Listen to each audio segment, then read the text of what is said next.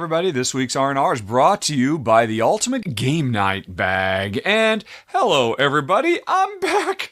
I'm back home after almost half a year on the road. I am once again surrounded by my beautiful babies here in my little filming room with my microphone and my cameras and all that, and the Ultimate Game Night Bag, which is sponsoring this week's recap. And I just want to give you a quick tour of the basics. Uh, let's start with the outside. Uh, it's basically a standard size, so you could actually use it as overhead compartment luggage on a flight if you were flying with it. But it's got uh, lots of different ways to carry. You can hold it as a duffel. You've got the overhead to carry and keep all your games inside flat. Along the back, of course, it can be a uh, backpack with incredibly reflective stripes, by the way. These things really pop quite a bit.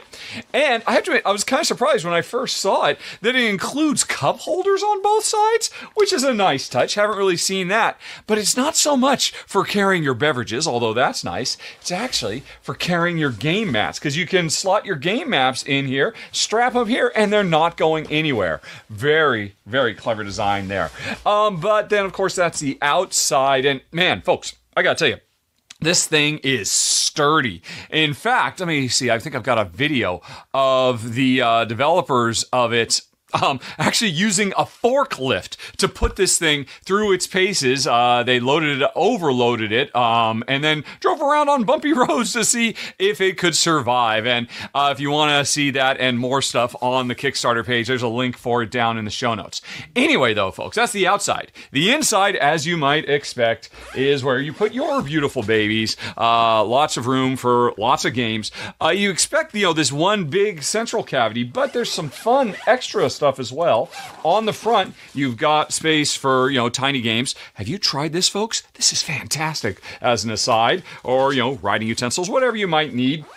There's also another one on the top um, for even more games. Although, actually, I kind of like it for carrying a laptop or a, you know tablet or other sorts of things. So anyway, this is a wonderful bag, incredibly sturdily made, a lot of flexibility and variety, and some cool new features as well. And it's going to be crowdfunding, folks, for a few more days. There's a link for the Kickstarter page down in the show notes if you'd like to learn more. And now, without any further ado, let's get on with the R&R. And uh, welcome, friends, to R&R episode number 87. I'm Ruel, hanging out with Chris and Ray. As always, thank you, Richard, for that uh, wonderful intro. The bag looks awesome. I, I need a new bag, and um, really Chris good. is celebrating. Looks fantastic. As always. How the heck Pocket. are you, friends? I love pockets. Yes. Let's go. pockets are always a good thing. Yes. No, um, this I that looks really great. I've always I for the longest time I was very on the fence about the whole board game backpack thing because they always look kind of in my opinion a lot of them look kind of dorky. Yeah. And this do. one I like that we're finally trending towards like sleek not like it's a giant backpack, right? Like you're it's it's going to look like a giant backpack, but I like that we're coming up with like slightly sleeker, more modern looking designs and like that one is one I would I would actually use and I would carry around at a con. Yeah. You, when you said dorky, I was going to say, you know what hobby we're in, right? yeah, I know. but I was like, we don't need to like lean into it so heavily, you know. And I really, I, I like the style of that one a lot, actually. Definitely, definitely. Um, so, uh, thanks to Mayday yeah. Games for sponsoring this mm-hmm. episode. Mm-hmm. Um, and uh, welcome, friends. What we're doing is our top twelve travel games because, as you saw, Richard and Jen have been traveling for the last few months, and they're back home yep. now. And we figured this is the perfect opportunity to talk about those games that we like to take on the road. So, um, we're going to hmm. start with, I believe, Chris, you got our number 12. Is that correct? Yeah. Uh, this is a game. Oh, oh yeah. I'm so, yeah. I'm yes, so Ray. sorry. Oh, yeah. Ray. Go for it. I was gonna say, do we want to talk about like how we're descri- how we're defining travel games? Like we, oh, we yeah. typically like define our terms a little bit. Yeah, I, I would if, love I for know, you to define it for no, us. Shut up. I didn't know if anyone. I mean, like I can talk about what I was thinking, but I don't know if anyone had like I don't know thoughts I think it. that's a I think that is a great thing, and I will be kicking myself over not mentioning it first. And now you get all the glory. Yeah. And I would like to give you that glory like a Gowron the Klingon. A nice reference, Chris. Uh, for glory. for glory. Ray, why don't we? Uh, yeah, let, us uh, oh, talk. I wasn't this. trying to steal Chris's thunder. I was just no. gonna say that Okay, well now I feel. I have I have no thunder to be stolen. oh I- my god! All right, I- keep it short. I was thinking for travel games, not just like a small box game that Mhm. you can take with you and then you can play, you know, wherever. I was thinking games that also kind of had a small footprint. So games that you could also play like while you're traveling. So games that in theory you could play on like an airport, like in a plane on that like little pull-out uh, tray that they have, or like you know in an airport while you're waiting. Something that also has a relatively low footprint, or you know something you could put in the one of those tiny pockets in a board game backpack. You know something that doesn't need that big main compartment, but a little little tiny one. Perfect. Um, that's all I was gonna say. I, was I agree. say- No, I think I think that's a know, great 'cause travel that's a great games. I feel like it could mean a couple different things. yeah. and Uh, and I think it is worth repeating that we have done this this list that's before. true. That's Um, true. Ray has not, but myself, Ruel, and Richard. I mean, Richard will probably mention this as well. He he, he Mhm. likes to shout those out. But we, Yeah. I I wanted uh, my initial thoughts were just travel games, and that's what I did for the previous list. And then Ray brought that up, and I thought, okay, I'm going to try for that foot, small footprint. So I'm Mhm. saying if you have three people, um, the, or one or two. Uh, that you're playing these games with on an in an airplane, I think these games can also hit fit, maybe just barely on the airplane tray tables. That was Yeah. also my Yeah. goal. Uh, and I think it makes for a, an exciting list. Yeah. Well, did you add to the excitement with this, or are you going to just let both myself and Ray down? Uh, I'm going to let you all down because I decided, uh, you know, like uh, Chris has said, we had done this list before in the past, and I want to choose some different games that I feel have sort of Yeah. captured my uh, fancy uh, lately. And I feel like these are the games that I would travel with. Now, not necessarily small footprints, but because you travel with them, they do tend to be smaller anyways. Uh, so Mhm. uh, these are games that I'm thinking if I go on vacation with Michelle, these are the three, or for my choices, three uh, games that I would throw in our backpack or really cool uh, board game bag um, on the plane and uh, go wherever and play these. So yeah, now that that's taken care of, thank you Ray and Uh-huh. thank you for Chris for setting that up. Um, Chris, let's lead things off with number twelve. Well, my number twelve is Oathsworn. Uh, no, no, it's it's it's, it's just Frosthaven. No, no, sorry. Um, they can fit in the bag. If it's just fitting in the bag, it's fitting in the bag. That's fine, right? um, no, okay. My number twelve, my number twelve, our collective number twelve is a little game that uh, was back in 1988. Uh, it came out. It's a very small card game. It's sort of a speed game. Uh, it's a Mensa Selects game, and that is the game Ah. Set. Uh, I, I I think this game is awesome. It's a it's a wicked game for for great people. If you're a good person, you'll like this game. Um, but but all you need is those twelve cards laid out in front of you because it's a speed game. You're trying to pattern match basically. So very simple. You could do it on an airplane. You could do it on a single airplane tray table as well. Uh, and the goal of the game, as you're seeing on the screen, is uh, to create sets. Now, what is a set? A set is three cards, and each card has uh, something on it that has four different characteristics. There's a number, there is a shape, circle, squiggle, diamond. Uh, there is a color, red, purple, green, depending upon the printing. Who knows what the colors are? Uh, and then there's a texture. I like to call it texture. Uh, nothing kind of uh, shaped and uh, solid, like lines or solids, right?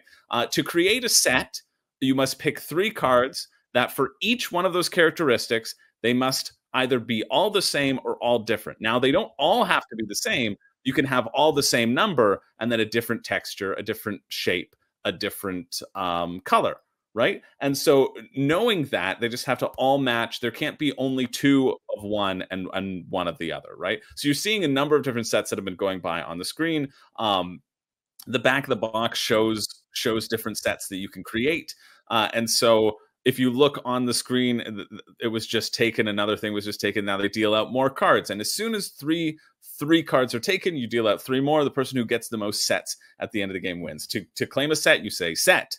That seems pretty easy. You just you say set, uh, and then you point out the set, and people say that's a real set, and you take it. And if it's not a real set, you have to give away like one of your sets, one of your points. Uh, it's great. It's it gets your brain thinking and like pattern matching in different ways. Super easy to play. And I was also being cognizant of this airplane thing because of timing. You don't want to stop a game halfway through. So really, maybe this should be the one my number one because it's so versatile. Uh, you can you can pull it out. You can stop midway. Like it's one of those games where like you know it doesn't matter. You just want to play a little bit of it, and you get the same taste of it regardless how long you play. That's set. Boom. Yeah. Number twelve. Very Man, I haven't thought about set in so long. This, Same. that game's great. I feel like it's Yeah. it's it's such an oldie but a goodie. You know, I never Yeah. would have thought of set. I can't remember the last time I played set, but I love set. You know, like I, that's a game I played a lot Yeah. uh, when I was younger, and it, it holds up really well. That's Yeah. a great pick. It's uh, one of the first games when I got in the hobby uh, eight years ago, Yeah. Chris. It was one of the first games that someone had gifted to me. It's like, oh, you're into board games. Here's this. I was like, I have no idea what this is. But then I played. I was like, oh, this is really cool. Surprisingly good. It's surprisingly Mm-hmm. good. Now, here's the one problem I have with it, though. Unfortunately, uh, colorblind uh, accessibility. Oh, yeah. it is not You- the most well, you- colorblind you- friendly game. And Yeah, I realized get then, play. yeah, I was like, oh wow, I have trouble seeing these colors. Oh, that's right, I am colorblind, and unfortunately, oh, are you? yeah, so Oh. that's when it really one of the games. This one and actually the original Splendor were the two games that Hmm. said, "Hey, Ruel, you have red green color blindness." I was like, "Oh." So, but regardless, it's a fantastic game. Um, I for what it was, for what it wa- for what it is, I think it's a it's a great game. totally. cool. Yeah. it's a Okay. Uh, let's move on to our number 11. Uh, this one's my choice, and uh, this is one of those games that I recently fell in love with. And um, I don't know how available it is. I'm, I'm not going to lie, I don't have a copy of it, but I played a bunch. Uh, I played this a bunch of times over at GAMA Expo uh, a couple of months ago. This is a game. It's our collective number 11 called Prey Another Day. And uh, Prey Another Day, folks, uh, it's this fun little. Um, game about animals. Uh, everyone's got a set of animals. You can see here a bear, a wolf, a lynx, an owl, and a mouse. We all have the exact same uh, cards in our deck, but we're going to play them at different times because you're going to play a card face down, and then everyone's going to reveal simultaneously. And then whoever has, uh, like, say, the bear, or the in this case, the wolf, if you have the uh, by yourself, if you have the wolf, and that's the only wolf played, then you're going to be able to prey on the other animals below that are below you in the food chain, like the lynx, the owl, or mouse. However, like let's say uh, Chris and I or Ray and I play both play the bear, then they sort of like, oh, we're confused. There's two bears, so we're not going to prey on anyone. Cancels it out. you cancel it out yeah. So you play this uh you can get eliminated in a round but the rounds go by really quickly. And at the end of the round if you are the one that was able to prey on other animals you'll get two victory points.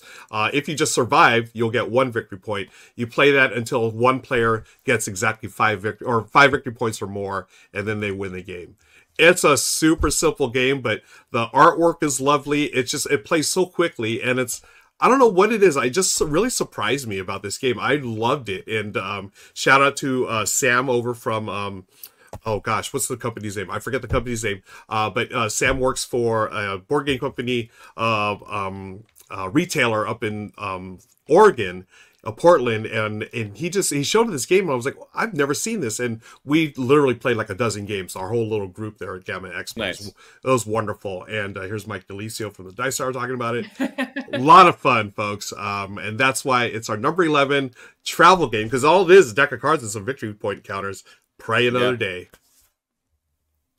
Yeah, I've I like never that. heard of this game. No, it looks me really neither. cute though. No. Yeah, I've yeah I heard of games with a similar feel. I like that Yeah. feel of bluffing your opponent, right? Like Yeah. I anything Mhm. that lets me just say, "Oh no, I'm playing a bear. I'm playing a bear." Yep. Every turn, except I would never play a bear in any Yeah. in any game because famously bears have kidnapped my entire family, and I'm still recovering from. it. Oh, I'm sorry to bring that up.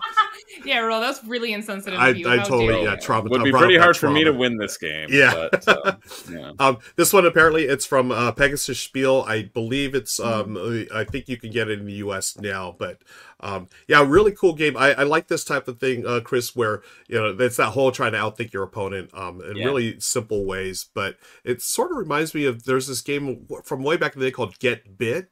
And it's you're playing Mm. numbers and you're trying to like not get bit by the shark. But if you're in the last play, like depending on what number you are, you're gonna you have little swimmers and you would swim a- ahead. But if you all play the same number, then you don't swim at all, and then the shark Yeah. bites the last person. Yeah. has a, a similar a similar effect to that. But uh, number eleven, folks, prey another day. Let's go on to number ten, which is going to go to Ray. My Ray, number another day. Ray, another day. the List. My number. Okay, my number ten. Uh, is probably gonna get me a smidgen of, of crap in the comments from people saying that's not a board game. And to you, I say, broaden your mind. Okay, be more Yeah. fun. Nice. Uh, this is uh, Taco Cat Goat Cheese Pizza. It is a very simple. That's not a board. Oh, Oh, shoot! I There say it you is. open your to be more fun. um, this is Goat Cheese Pizza by Dolphin Hat. It is a very simple slapping game where you're going to go around. Everyone's going to take turns flipping a card and saying the word, one of the words in the phrase Taco Cat Goat Cheese Pizza. So if I go first, I go taco and I flip over a card, and the next person goes uh, cat and they flip over a card. If at any point the card that you flip over matches the thing that came out of your mouth, because obviously it's a deck of various cheeses and goats and tacos and cats, if it ever matches what you say, you have to slap the deck, and you'll see that's in the gameplay. Everyone's slapping the deck, and the person who was the last to slap has to take the stack of cards. There's a couple special cards, like you know the I think the gorilla, you have to pound your chest and then grab it. Uh, the what is it? The unicorn, you have to clap above your heads. It's really silly and funny. There's a bunch of different themes for like different holidays and stuff. Uh, the people who work on this game have been always really sweet and really cool. They have really great uh, social media marketing, which I just like as someone in that world, I am very fascinated in how they've gone about marketing this game. And the reason it's on this list, it is just a simple, fun slapping game, but it is literally when I have that little extra space in my bag, Mhm. I always grab this because it is a deck of cards, and I think it's some of the most fun you can get out of just a deck of cards. Right. And also, Yeah. when I think about travel games, if I'm like, tip, I'm typically the hoster in my game group. Like, I have all the games. People come to my house. We spread out over the big game table. If I'm ever traveling somewhere and bringing games, I'm usually just like bringing some supplementary games, right? We're usually going to someone else's house that has the games, right? So when I'm thinking about travel games, a lot of the games on my list, on my personal list for this, are party games, are filler games, right? Because like that's when I'm thinking about going somewhere and bringing games. I typically mm-hmm. end up reaching for party games because that's usually in the scenario in which I'm traveling. I'm just bringing some fun, silly filler party games and taco cat go taco cat goat cheese pizza. Jesus, it's hard to say. Uh, is truly genuinely like the game I reach for the most when I'm like just stuffing that little extra corner of my bag because it's it's just a deck of cards. Yeah. I just I just like that that you categorize as one of the best slapping games out there. Like, you know, I own I've- several. Okay? I've had some slapping games before in my time, and it just it, it always leaves me with just an imprint on the side of my face. Uh, I did not like playing them, so this sounds a little bit nicer. Uh, I, it, is, it can get painful if you're wearing rings and stuff. This can get Mm. Oh, pretty, yeah. get pretty brutal. Yeah, I, I really enjoy this, uh, Ray. I'm glad you put this on the list. It's you know, you talk about travel. You know, if we if you really think about it, as we travel, we take these games. You don't know where you know you know where you're going to end up, but you don't always know who you're going to interact with. And games like these, like Taco Cat, Goat Cheese Pizza, are so simple to learn, and I think plays well with a really broad uh, audience. And, yeah. you know, Yeah. So like that was that was definitely one of the things I was thinking of for these. Like there are some like two player specific games that I left off my list because I'm like I'm thinking like I'm traveling. I want to be able to like anyone that I meet on my travels. I want to be able to be like, hey, you want to play a game? And bring out a game I can teach in a few minutes. So nice, uh, For yeah, sure. Taco Cat Goat Cheese Pizza. great call. or pick. whatever version, because there's so many. There's Yeah. so many. Yeah. I just I, I recently got the I think it was the women's World Cup version, which was like Oh, cool. yeah, a friend of mine gifted to me. I was like really cool. So you know, instead of the gorilla or whatever, That's it's cool. got you have to you have to say goal or something. Oh, cute. Yeah, it was My really favorite cute. version is I have the Butts edition, which is the original deck of cards, but all the drawings are just turned around and it's their little it's their little bums. It's like all the original drawings, but just like from the back. I think it's like Taco Cat Goat Cheese Pizza on the flip side or something, Mm, and it's literally nice. they're all just backwards, and I think Love that's it. really cute. Very cute game. Okay, let's move on to our number nine. Richard's got that for us. Take it away, Richard. All right. I love talking about travel games so much. I think this is now the fourth time I have tackled this topic. A decade ago, and then last year we did one on a previous R&R. I have also separately done a uh, RV lifestyle games, which is very travel adjacent.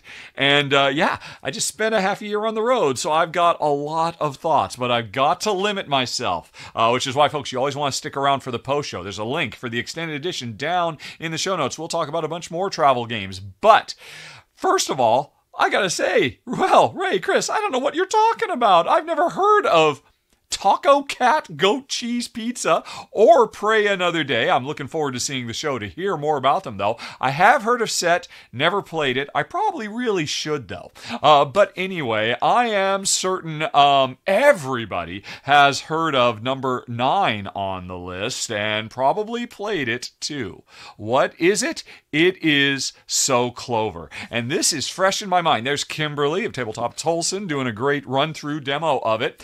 I got to play played this with my wife Jen for the first time on our road trip. Dan King, the Game Boy geek, introduced it to us. And I have to admit, I'd always been interested in the game, but I'd never played it because uh, officially it's a three player minimum game. But here's the first thing about you need to know about So Clover, folks. It's a phenomenal two player game, and it's absurd that it doesn't say that on the box. Just use the uh, code name uh, duet or the code name du is it code name duet or code name duels. The two player code name rules for this works brilliantly. And honestly, I think it's a better two player game, arguably, than Codenames. So, what is it? Well, it's very Codenames adjacent. Uh, players end up with a clover where they've got to come up with four clues for the way that uh, four cards get laid out. Then um, they hand it to the other players, and the other players try to figure out right what um, what did kitchen kitchen noodle and office well, yeah, that kind of makes sense. But what if it was noodle and mint? And mint should be over here with kitchen, because where else would you find mint except in the kitchen? And you're trying to figure this stuff out. It's absolutely brilliant. It's so much fun to play. Uh, it's a fun little video of Kimberly's to watch right here, and I highly recommend it. It's great to take on the road uh, because sometimes you just need games for the uh, board game newbies that you run into, and anybody could be up and running th- with this game in no time. But then again, for me, it's extra important because when I'm traveling, I'm mostly just there to play games with Jen, and this is a phenomenal two player experience. The box lies, folks. Thank you, Dan King, for making me aware of this. I've already gotten my own copy of it, which I will always travel with in the future. Number nine on our combined list, So Clover. Uh, That's so interesting. I I really enjoy So Clover, and I we might have had that on our uh, top party games list before. I'm not sure, at least an honorable mention. But as Yeah, a two player mentioned it, I game, yeah, I wouldn't have thought it was a good two player game, but apparently it is. Me neither. Yeah, Yeah. that's great. No. Yeah, it is a No. Clover game. It is very Clover. It's, it's very good. I, I really enjoy that one. My my gripe with So Clover is that it's cooperative. I Oh, yeah, I, I yeah. homebrewed a little competitive version of it just because I'm like, well, but what if it was? What if Oh, we fought? How, What if we weren't on the same team? how do you do it competitively? Oh, I don't remember. I have the I have the rules written out somewhere. Yeah, um, that yeah. when I bring when because my family is the same way too. So my mom and I sat down one day and we're like, how can we make this not com- how can we make this not cooperative? Nice. Uh, You I haven't played speed it in a round while, it, right? but- Like as soon as you flip over the cards, everybody yeah. has to write I down think and we then just be like did team in. gameplay or something like Mm, that. I, I can't remember off the top of my head. nice. Um, but I, I love the the concept of it. I just I Yeah. I like my competitive party games. Totally fair. all I've got to totally say. fair. Okay. Uh, cool. So uh, that was our number nine. Let's move on to our number eight travel game. Back to Chris. Uh, my number eight, I really like this game in terms of talking about small box games, and I'm glad that I didn't include it on the previous travel list so that I had something to talk about now. Uh, this this I think could work on maybe three airplane tray tables. I don't know. You'd have to stretch it out. you You'd got have to lucky and you got an empty middle bit. seat or something. yeah, you might you might have to be traveling with three people, but it works best as like three to four game. This is a this is a chunky game in a very small box. Uh, it's Masques, um, and this is one of those games which is it's got such a small footprint that I don't find I pull it out that much because when I'm thinking about games to play, I, I don't look on my like small game shelf because I'm like, oh, that's a small game. Uh, and then when I look at the small game shelf, I think, oh, that's that game's too long and it's got too much too large an experience. And so like I I I rarely um I haven't played this in a long time, but it's not going anywhere on my shelf because I think it's really solid. Uh, whenever I, I did a list of like underrated games, this was super high up. Um, basically, you have all these cards that represent like the houses, the the rooms of this hall. You're you're in a grand hall, and you belong to a noble Italian family. You have the green family or the blue family. They have actually Italian names, but you know, it doesn't matter. Um, but on, on at the beginning of each round, you draft cards, and you can be drafting your strong family members of your house, or maybe you're drafting the strong family members of somebody else's house. And so you get access to everybody's cards, and you on your turn you place down a card somewhere in between uh, a a location, and whoever's family member has the higher number will win that thing in the location. And so it's all about okay, I want to get these things. If I get five of one type or four of one type, I win the game. Or if I get like two of all the types, I win the game. I forget the numbers, but uh, that's that's the gist of it. And so it's it's a really fun drafting of okay, what do I do? Do I what do I play for? What can I win? What are other people going to go for? Uh, it, it's a really slick of what do I play. Uh, when do I play it? And you can also spend your money that you've gathered because sometimes you just win money instead of like items. You can spend that on uh, stuff in the middle. These are like superpowers, one-time powers that you can take, uh, and uh, and and give you like swapping abilities and push things out one one way or the other. It's really solid, and um, yeah, it's a great little little small box game. Nice. I I've not heard of this one before. Um. Chris, th- this is really uh, really cool. Um, do you know who publishes it or Uh, I think it was FFG. FFG? Oh wow, Yeah. wow. So I think Wow. FFG, and also strange because it's such a small box. yeah. yeah. But but FFG is on my copy. I don't know if they still publish it or not. okay. Uh, but it maybe maybe somebody else got the license to it. But I think it's it's so surprising that it was FFG. yeah. And um, I, I just yeah, assumed, yeah, yeah, it's- with it's FF, yeah, with FFG, that you know, slap on some Star Wars or something on here, or Lord of Mhm. the Rings, and you know, Yeah. retheme it. But it really it seems interesting. Uh, now, is it a? I'm trying to. Is it an area control thing where you're trying to get the most in one area and then yeah, to grab that? kind of. I mean, Okay. you're each one of those rooms, those like little corridors, has an item in it. Yes. and whoever and you and you want to win those items but you want to be strategic about which items you win when right and Mm, try to get either and there are multiple win conditions so you can really steam ahead and try to go for one thing but then people will try to block you or you can try to diversify and so like that helps keep the pace of the game because you eventually somebody will hit that win condition got um, it. Cool. yeah so it's Nice. it's like strategic placement like tile even like tile laying tile Yeah. placement but the rounds go back and forth i love it i love the drafting element to it and that like you can have my most powerful family member and you decide where it goes and then it's timing out like okay well that's Mm. that's gone there can i do something to push it over or do i have to take that thing and then pivot with what do i have in my hands so Mhm. Mhm. Oh, I love that. That's so cool. Wow, what a what a yeah, cool I've never game. heard of that before. Yeah. Okay. is, I. Oh, sorry. yeah, Oh, go ahead, uh, Ray. Go go ahead. I was just gonna say it's interesting that curse of the strategic small box games because I feel like everyone has the small box corner of their Kallax, and it's ninety percent party games. So you're just like, that's the party game corner, and I Yeah. I find myself hitting that trap all the time where I have a couple of small box strategic games that just don't get to the table as often because my eyes don't Yep. literally just don't go over Yeah, to the small yeah. box section when I'm looking for a strategy. So I just thought that was interesting that you said that, but That's so yeah, no, true. game looks cool. I've never heard of it before. Yeah, have Yeah, to check that that's really out. good. Nice. Um, excuse me. Okay, uh, let's move on to our number seven. Thank you, Chris, for number eight. Uh, number seven is oh, it's back to me. Uh, now this one, uh, sort of, Ray sort of touched on this earlier about how when you travel, you want something to play with a bunch of different people or whatnot. Uh, this one, I'm bringing it back. This is a game that I would travel with Michelle, and we're the only ones playing it. It's just for That's us. fair. That's totally fair. You know? Ruel. you pick whatever games you want. you know so uh, this one's splendor duel um, i love love love this game i think this is a masterpiece of design um, it takes splendor which i love but makes it even better uh, changes excuse me changes things up as far as uh, the the gems that you're collecting you can't just uh, select gems anymore you have to go on the board they're going to be available there excuse me i'm going to i'm going to take a quick break here i've got a frog in my throat or something hold on Well, Yeah. we'll we, we'll we'll describe it to the to the viewers while you do that. Um, that what I like about Splendor Duel is that the fact that different than Splendor, there are three win conditions. You can be going Mm, for good point. points. All the cards have points on them. Uh, all the cards also have crowns on them. Well, not all of them, but some of them do. Yeah. Uh, and you can get ten crown points.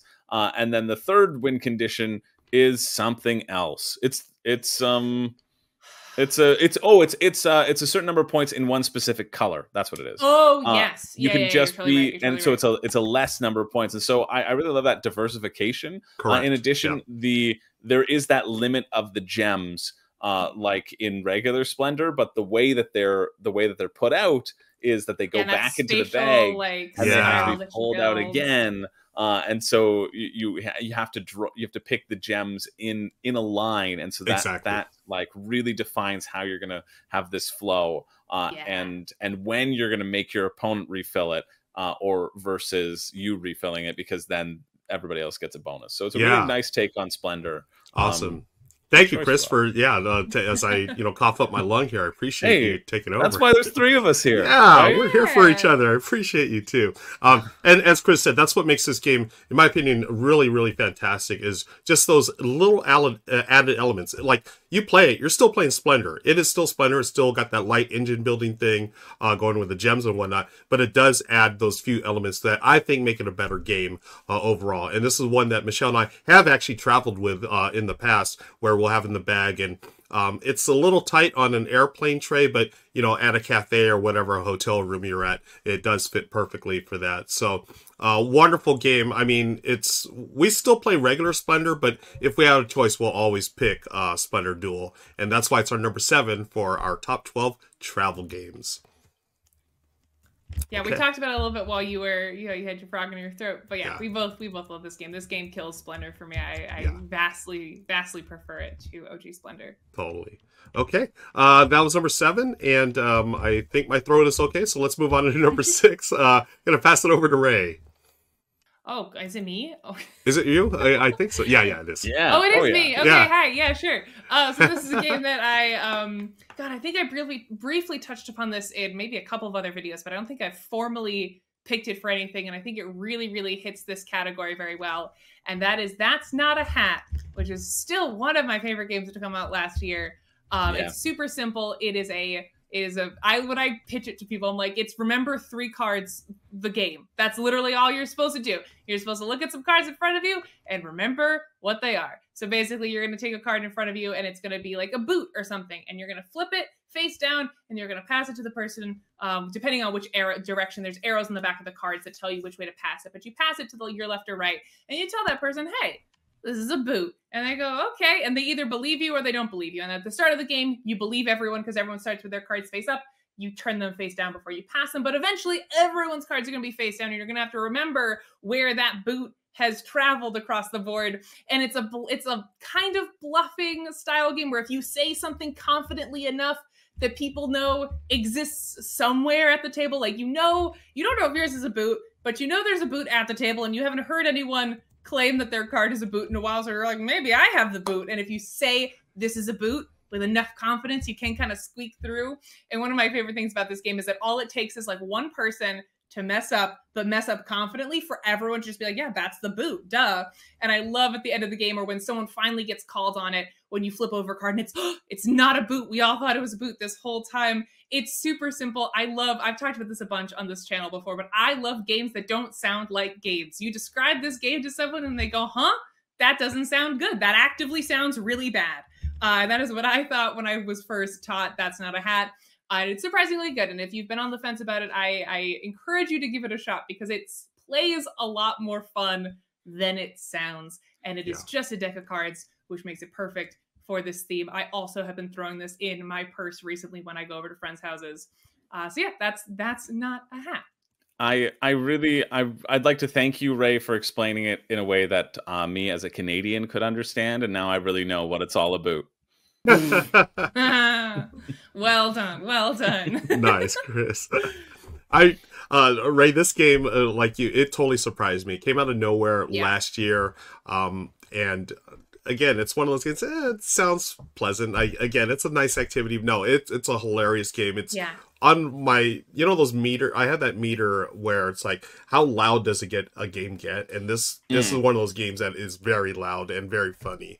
Um, and always that's a my time. favorite kind of game too. Same, And I think that's one of the things. Again, I I touched on this a little bit earlier, but I love like the marketing side of my brain is always interested in like how games get popular, and this one's so interesting to me because you know it came out of nowhere. It didn't get a lot of like pre-release hype, but it got a lot of word of mouth because you're like, no, no, no, you have to try it. You won't Yeah. believe me until you try it. Like that, Yeah. everyone that I've talked to, they've it's someone emphatically saying, no, you have to try it though. Yeah. Like that, and that has been very interesting from a marketing perspective to see yeah, like how do you create a game that gets good word of mouth buzz? Well, sometimes it's making a game that doesn't sound like a game and people want to yeah, talk about it and convince you that it's Yeah. actually really good. yeah. Um, so yeah, Um, I, I enjoy it both as a player, but also as like a professional in the space, seeing how that game came out of nowhere and got really popular. yeah. And I think that's definitely plays into it. Yeah, I think like the the example that uh, I think about from a few years ago was the game The Mind. When that hit, Oh yes. again, all I heard was nothing Yeah. but it was word of mouth, and people were like, "Is this a game?" Or it's like Mhm. you got to try it.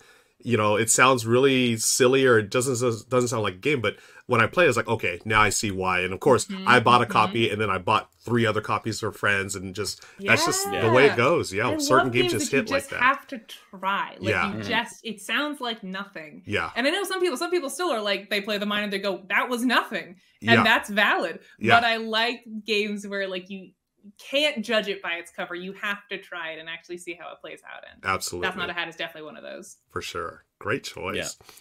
Okay, let's move on to Richard, who's got our number five. Richard, take it away. All right, continuing on. Chris Ray, you still stump me. I have never played the hat game, but I've heard about it. Didn't we put it on the party list recently? Yeah, I'll get to play it someday, but I'm sure it's not a very good two player game. And Masques, I don't even know about that one, Chris. You've totally stumped me. Well done. Again, I am very much looking forward to this episode uh, to hear about all these new games that are new to me. But, well, definitely Splendor Duel.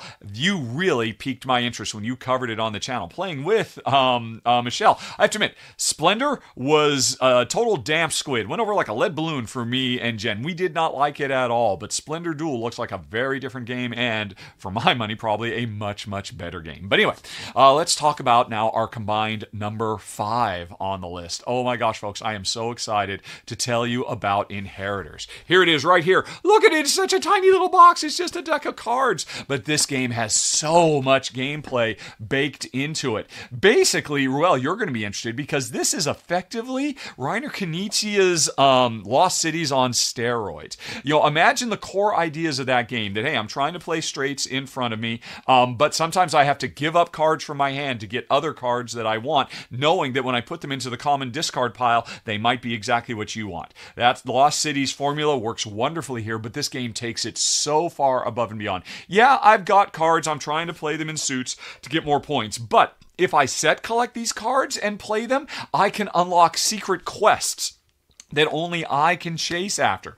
If I reach certain levels of these straights that I'm trying to play, I can unlock cool special power characters. And every time you play, there's going to be a different combination of five of them that we are racing to be the first to be able to control that will change the game up. Also, when I'm giving up cards, I could either be uh, doing it to draw blind from the deck to try and find the cards I want, or if I give up cards that match, um, there's three uh, discard piles. If I give up cards that match the cards in other piles, I can grab big chunks of cards and add them to my hand. Everything about this game is absolutely brilliant. It's from a new to me designer, Jeffrey CCH. I've been talking about him more and more, and I am blown away. So is Jen. Look at this. We get so much gameplay, uh, and it works great for two players, and you can play it at higher player counts depending on who you meet on the road. It's pretty easy to teach, a little bit more on the complex scale than my last one, So Clover, but I am head over heels in love with our number five Inheritors. Okay, Richard, you had me at Reiner Knizia's Lost Cities, but more complex. You've sold me. Mhm. Um, I had heard about this game. I remember there was a lot of hype of, uh, about Inheritors at the last Gen Con, and for whatever reason, just didn't grab me. But it's because no one mentioned the good doctor's name. You mentioned that doctor's name, and I'm all in. Chris, what do you think?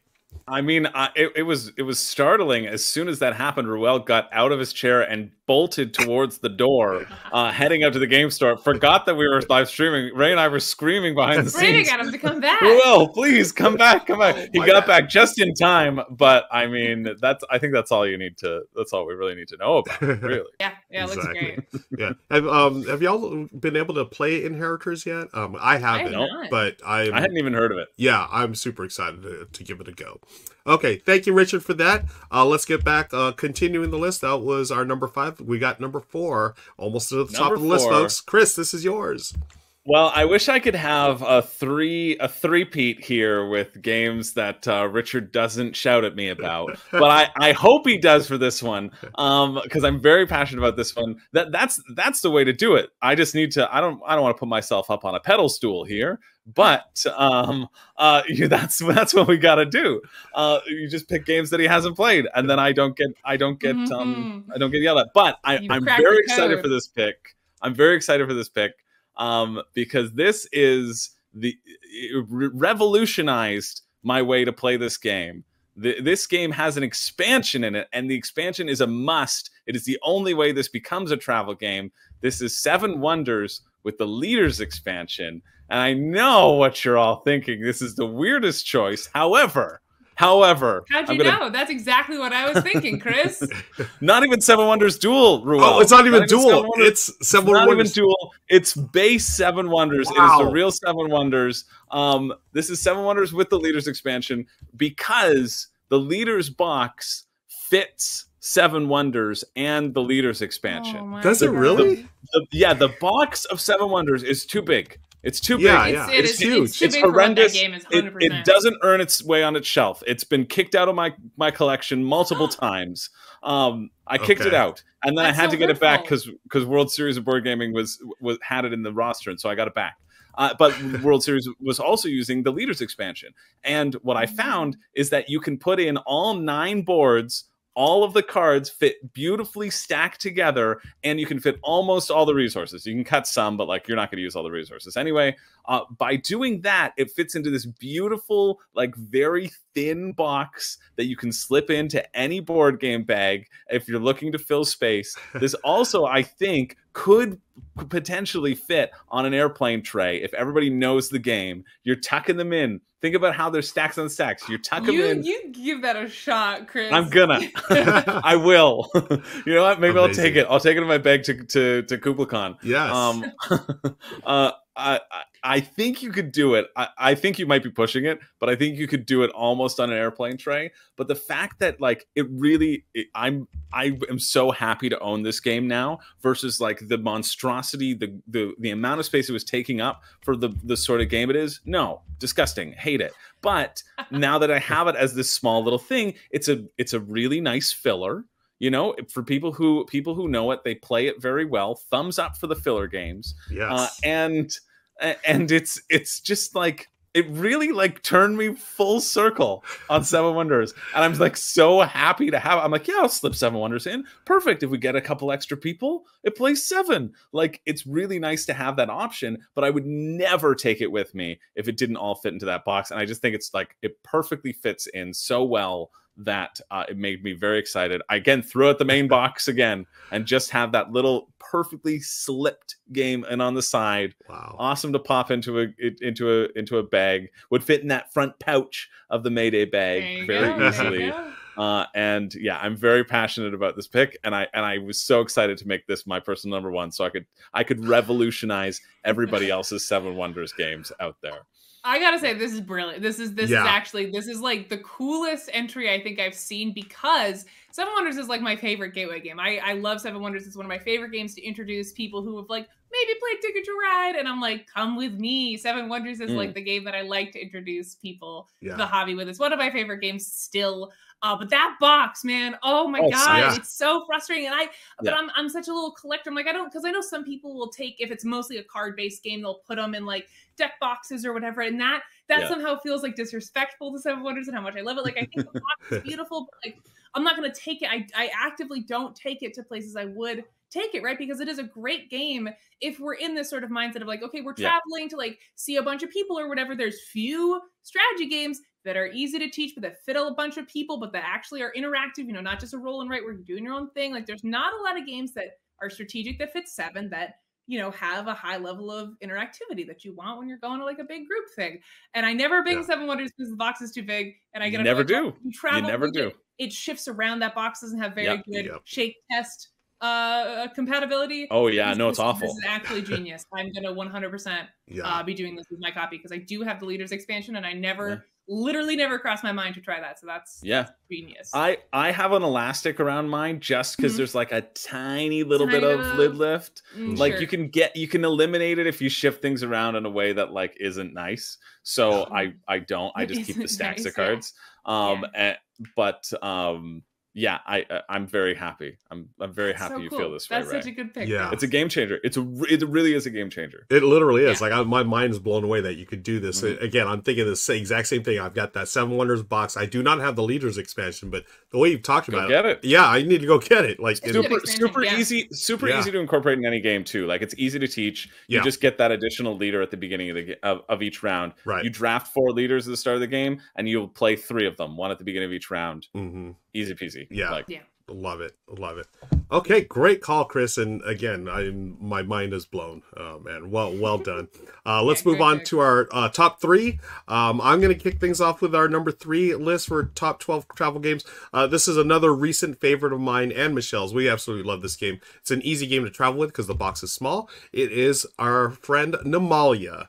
Um, this game really came out of nowhere for me. Um, I learned about it, I think, at PAX Unplugged a couple of years ago, and um, just based on the description from, um, I believe it was Brie at the time, she gave me the description. It was like cartographers scoring with some tile laying. and I was like, "You had me right there. Tile laying, cartographer's scoring, boom, I'm done." And it's it's a wonderful game. Um, it does take a little more space than a I, I think an airplane train. It'd be a little bigger because you do build out a six by six by covering and, and whatnot, but. The game itself is brilliant. Uh, every round, you're drafting three cards into your hand, and uh, you'll see there that they have four different scoring conditions. The first three rounds, you're going to score two different ones depending on uh, what round you're on. Then the final two rounds, you're going to score three uh, of those conditions, and there are variables. So uh, every game, you're going to have different scoring options, and they score basically on the terrain and the animals, and you're trying to line them up. Uh, you're going to draft, place one, and then pass the others to the left or right, depending on what round it is and hopefully you're going to get the right animals and right terrain where you want it. And it's the the brilliance about uh, of this game, as uh, other games like this, is there's always that choice of like, oh, I don't want to give this up, but I have to because I want this one a little more, or maybe maybe I I don't want this one, but I you know I've got to give it up. Um, I I always love that about games, and this one does scale really well. I like this at two, and I think it's up to five uh, is the um, a max player count, but it's always a good time, and that's why it's our number three travel game, Nimalia. yeah i know you like this one i still haven't Yeah. have yet to play it but Mm. uh, i've been interested ever since it was brought up uh, and a really nice pick Yeah, Yeah, no, I'm, I'm in the same boat. I've heard you talk about it, Ruel. I've heard I've heard a lot of people kind of in like the Twitch streaming community seem to really like this one. Um, I don't know if it's because it's solo as well or something, but I just hear that crowd talk about it a lot, and I've yet to try it, but Yeah. I've heard nothing but good things. Yeah. Well, we'll have to get y'all uh, um, on board uh, real Yeah. soon because it, it's it's a fantastic game. Um, but hey, we've got two left. Uh, Ray, you've got one of the two. Take it away. All right. So my our number two uh, was my game of the year. I think in 2022. This is Cat in the Box. I love trick taking. It's one of my favorite mechanics, and I got to a point where I finally was like, I don't feel like anyone's gonna do anything new. Like after the crew came out, and everyone loved the crew. I'm a hater because I don't like co-op games, so I was like, meh. I understand why people love the crew, but I would always rather play a competitive trick taking game. Yeah, And then Cat in the Box came out, and this was like the first time in a while where I was like, okay, this is something really new and really interesting with trick taking. So basically, it's a trick taking game. All right, wait, if you don't know trick taking, uh, I don't know how to concisely explain that mechanic, but basically, you're playing a card, you have to follow suit, and if you have the highest uh, number in that suit, you win. And there's a trump suit where if you play a card from that suit, you win regardless. The cool thing about Cat in the Box, there's two cool things. One is that your hand of cards, there's supposed to be four colors, right? Red, blue, yellow, green, and numbers, I think one through nine, depending on the number of players. You get a hand of cards that have numbers on them, but no colors. So the theme of this, again, when I saw this box, I was like, meh, cats, very overdone, whatever. The theme of this actually makes a lot of sense. This is like Schrodinger's cat. This is like you don't know what color the card is until you declare it. So you have a hand of black cards, and when you play your black two, you say this is a red two, and you have decided that this is a red two. It's that sort of Schrodinger's cat concept, right? You don't know what color it is until it's out of the box. I don't know. That's that's the idea there. You play the red two, and then you, you you play it like a regular trick taker. Everyone else will look at their hand of cards and say, okay, well this is a red four, and then you go until someone wins the trick. And there's a couple of cool things here. Obviously, the first is that you're just deciding what color your cards are, which is really cool and adds a really fun layer of strategy.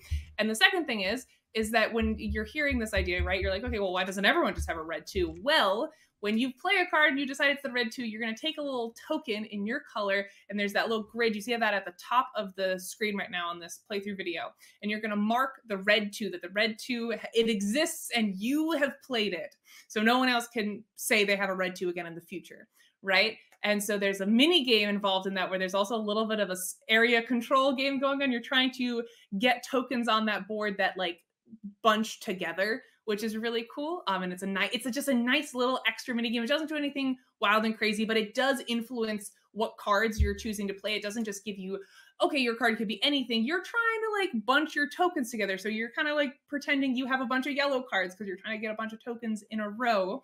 And you go until someone paradoxes, which is where none of the hands in your uh, cards in your hand exist right they've all they've all been marked they already exist so if i have a handful of I have a two in my hand and all the twos have been marked off on that board, oops, I paradox because I can't have any twos because they all already exist. I feel like I'm explaining it, this in a way that's making it sound more complicated than it is. But at its core, it's a trick taking game where there are no suits. You decide what suits your cards are, and there can only be one of each card. So chaos unfolds from there. This is a nice little compact box. It's super tiny. Um, and it's just a really clever uh, take on a trick taking game. It, this is going against sort of my party game philosophy for these. This is a little bit crunchier.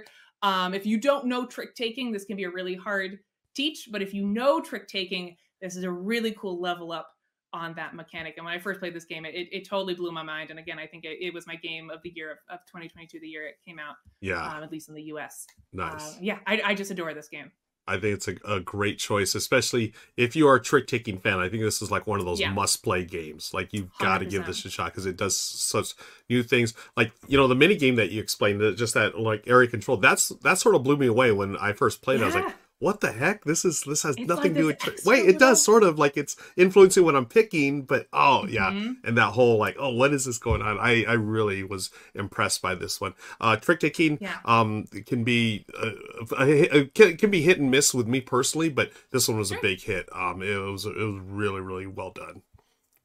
Yeah, totally. Yeah, I I love trick taking. I haven't played this yet. I think uh, and and you know what made me uh, I thought the description of it, like how it was marketed, I was like that sounds dumb. Uh, but now but then actually but actually no no no, but how you describe it and like actually knowing the game mechanics, I yeah. think it sounds very exciting. But I yeah. think it was just like there are no suits good luck. And they don't yeah. explain that you get to call the suit, right? Right. Yeah, everybody talks about it as it yeah. sounds. It yeah. sounds like it should just fall apart at the seams. Exactly. But because of the mini game and because of the fact that only one of every card can exist and the mm-hmm. way that the like the the number of cards in the deck, it doesn't it, yes, it is like one of the more chaotic trick taking games because you look at your hand and you're like, it could be anything.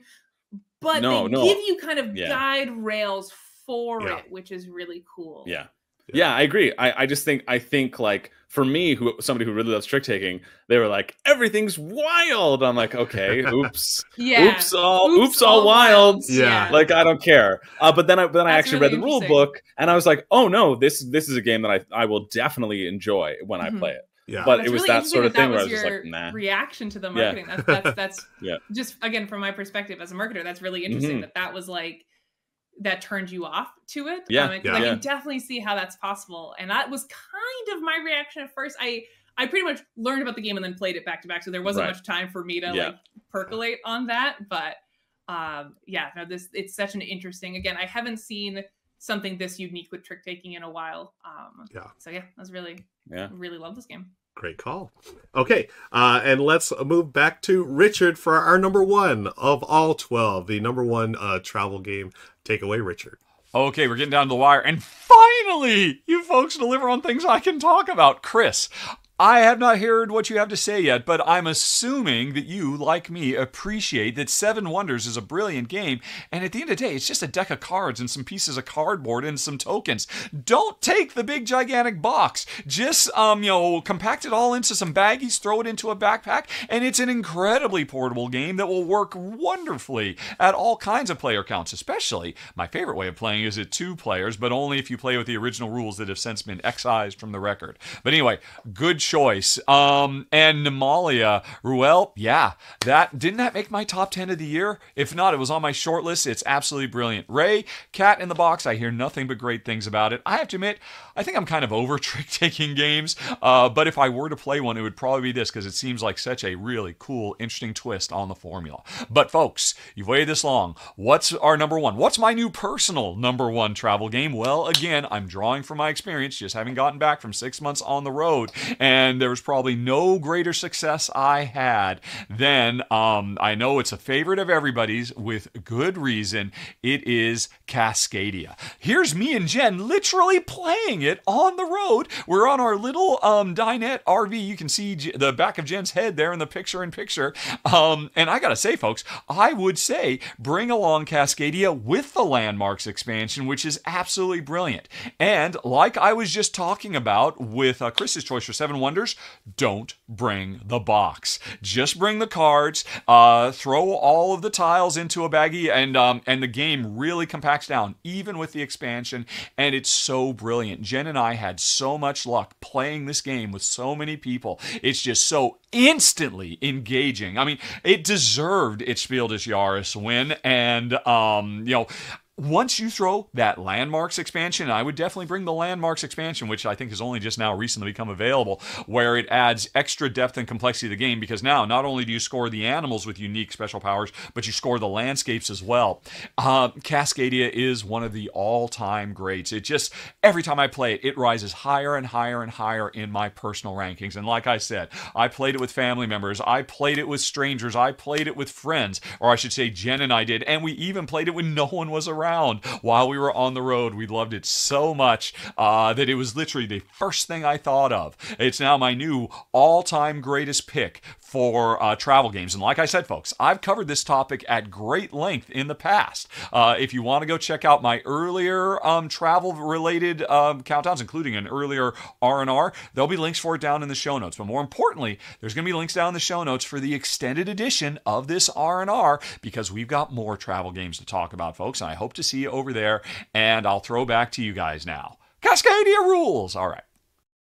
Yeah, Cascadia is rule. I absolutely love this game. Uh, favorite of mine from a couple of years ago, and I didn't really think about it as a travel game. But Richard's right. You just throw all the tiles in the bag and grab the cards. Yeah. You're good to go. So, uh, great choice, Richard. I mean, Yeah, no. I have to I have to come in here and Richard, I I'm going to I'm going to go out on a limb limb and agree with Richard and agree with Richard's like off the beaten path pick. This is where Richard and I can bond. That and Keyflower. I think the two player rules of Seven Wonders, the original ones, also were were great. I, think don't it's better what than this Seven is Wonders Duel. referring To what two player? What original two player rules? Wasn't it Seven like a dummy You- player? It's just a dummy player, but you get you Uh, pass I don't you like pass control players. of the hand. You Mhm. pass control of the hand back and forth, and so like you can set Huh. yourself up for the dummy player to need to buy resources from you in order to do something, and so you're like pushing the income back towards you. I think it actually is good. I know it is almost like universally reviled and it was taken out of the second edition um, because they wanted to take it off of the box. But Richard, you and I, baby, Nice. this is this is the bridge. This is we did it. That we came together. yes, it took a little traveling, but you have now uh, met. and oh my gosh, you're of one mind. Uh, Chris, Ray, thank you again uh, for hanging out and sharing our top 12 travel games. Folks, as Richard said, don't forget to click on the links below because we do have an extended edition where not only do we talk about more travel games, but we actually have some fun playing some Gartic uh, show with y'all. You, what is Gartic show? You're going to have to click on that link to find out. It's a lot of fun. And until next time, folks, we'll see you here back on the R&R show. And take care. So long. Bye-bye.